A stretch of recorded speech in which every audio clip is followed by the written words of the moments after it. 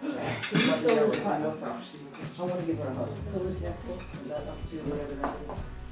zon is nog niet bezig om op te komen, we dragen nog niet lucht.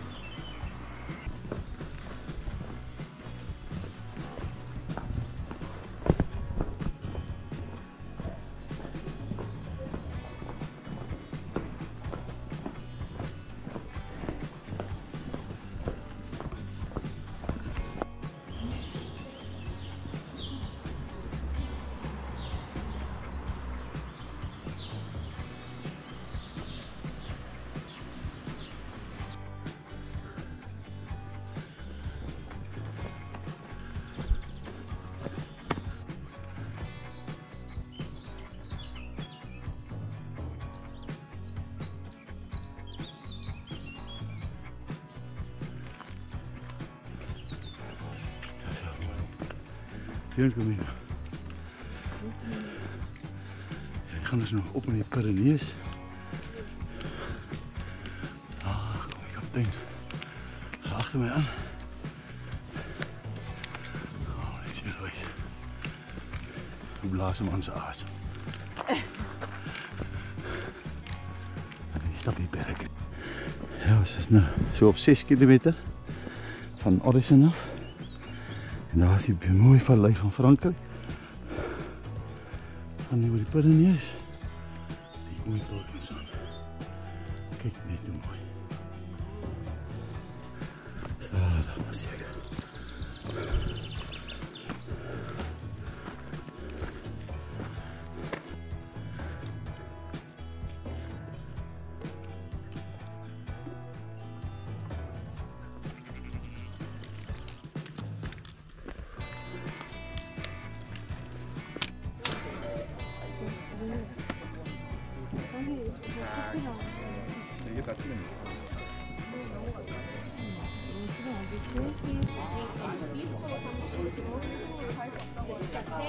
Aí você sim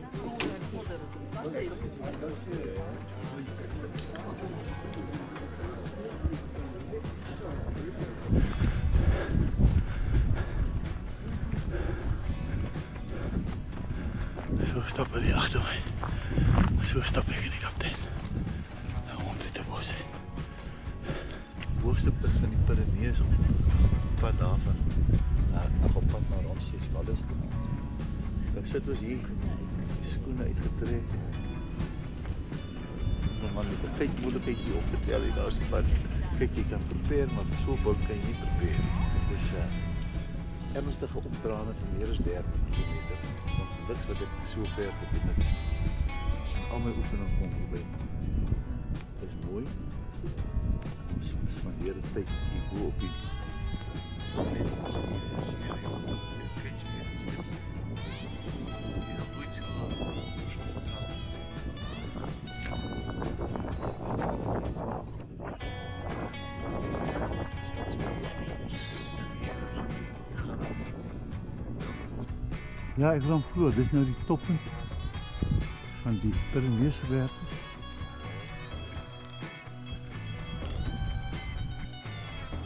ja, nou ja, nog twee uur. Daarna, Frans is wel echt.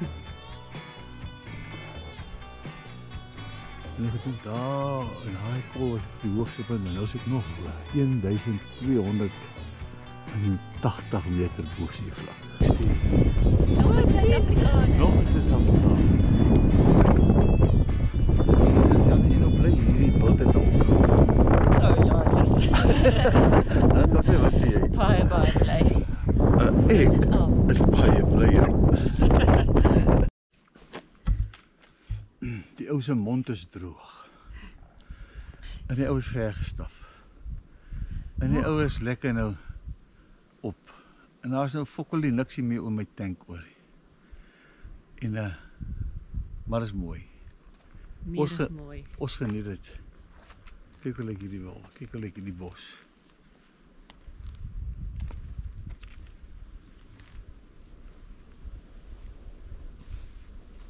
zeer maar tevreden. Hoe ver is het nog? 0,5 kilometer. Ja. Het de ou net hier dood gegaan. Gilbert. Janeri. zo.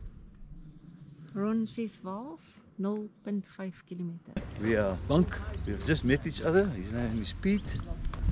And we we're going to Casa Sabina for a nice dinner.